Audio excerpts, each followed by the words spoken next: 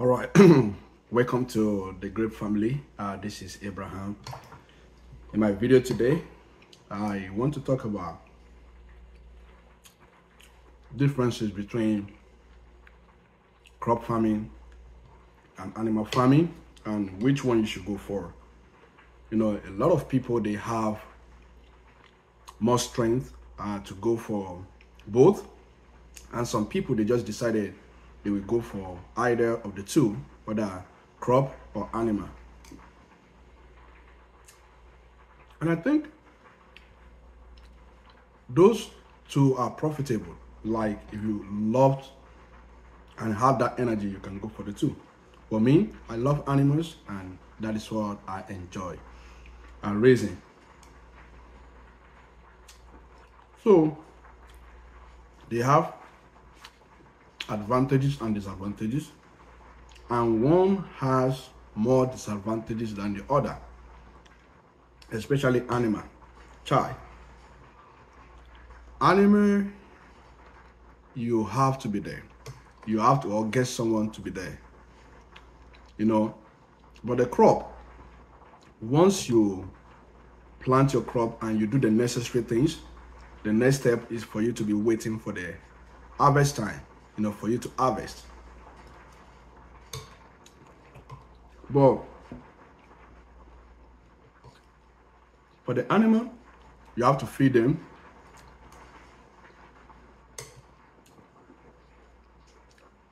They don't have break. They don't have holiday. They need to eat. So sometimes people can travel if they do not have anyone to take care of their animals. And sometimes when we want to travel, we have to look for someone that will help us feed our animals. Sometimes it is very hard. So that is the disadvantages yeah, for raising animal. And then the diseases are common in both, but my real concern is the fact that you can't leave animals for so long without anybody taking care of them. Why? In crop farming, you can plant your crop, travel, and, and come back. So, if you are thinking which one you should go for,